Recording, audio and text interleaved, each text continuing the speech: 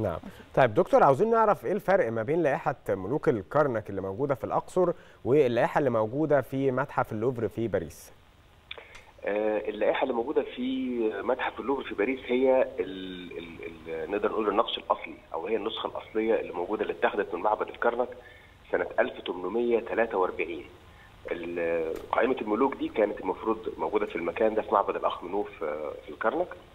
لكن جه أثري فرنسي اسمه بريس دافين نعم. أخذ الكتل الخاصة بالغرفة دي. ووداها لفرنسا آه، راحت في اتعرضت في كذا مكان لغاية لما استقرت في متحف اللوفر في آه، فرنسا سنة 1919 مم. آه، فتعتبر هي هناك هي النسخة الأصلية اللي موجودة عندنا هنا دي replica أو تقدر تقول حضرتك مستنسخ من النسخة الأصلية بنسبة واحد لواحد نعم طيب لما نيجي نتكلم عن إن حصل ترميم وحصل تطوير إيه اللي حصل بالظبط اللي حصل إن هو طبعا كان سنة آه، في السبعينات من القرن الماضي المركز المصري الفرنسي بالكرنك عمل نسخة طبق الأصل من ال- ال- ال- الأصل اللي موجود في متحف اللوفر ولكن كانت من الجبس وكان طبعا مع مرور الوقت بقى لها حوالي يمكن 50 سنة فطبعا تأثرت وتقريبا انمحت معالمها خالص. آه، لغاية لما فكرنا في فكرة إن إحنا نتواصل مع متحف اللوفر في فرنسا وإن هم يعملوا آه، تصوير 3 دي موديلنج للقائمة اللي موجودة عندهم. وبالفعل اتعمل الموضوع ده وخدناها إحنا في شركة كنوز مصر تبع طبعا لوزارة الآثار. نعم. وقدروا إن هم يعملوا مستنسخ آه، بشكل طبعا أفضل جدا جدا من المستنسخ اللي كان موجود آه، قبل كده. وجينا ركبناه استغرق الموضوع ده حوالي يمكن ثلاث شهور.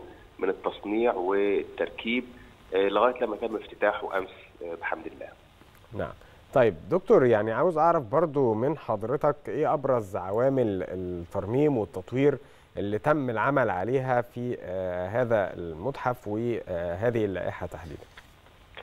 يمكن معبد الأخ منو اللي موجود في معبد الكرنك اللي هو يعتبر ده جزء منه. الغرفة دي جزء من ال- من المعبد ده كان عمل اتعمل فيه ترميمات كتيرة جدا جدا منها آه، ترميمات لإظهار الألوان والنقوش بشكل جميل جدا يعني إحنا بنشتغل في الكرنك بسياسة على طول إن إحنا بنخلص أثر بنخش في الثاني على طول صحيح آه، ترميمات دورية وكده. بالنسبة للغرفه دي آه، تم إعادة بناء الأجزاء اللي هي اللي كانت متهدمة منها من قديم الأزل يعني من زمان خالص. آه، وقعدنا بناءها مرة تاني بأحجار هي نفس الأحجار اللي هي كانت موجودة طبعا حجر الرملي. وبعد كده جبنا المستنسخ اللي هو عبارة عن السطح الخارجي للنقوش بعرض حوالي يمكن 7 سم وتم تركيبه على الجدران اللي هي في نفس المكان الأصلي اللي كانت موجودة فيه النقوش الأصلية اللي هي موجودة حاليا في متحف اللوفر.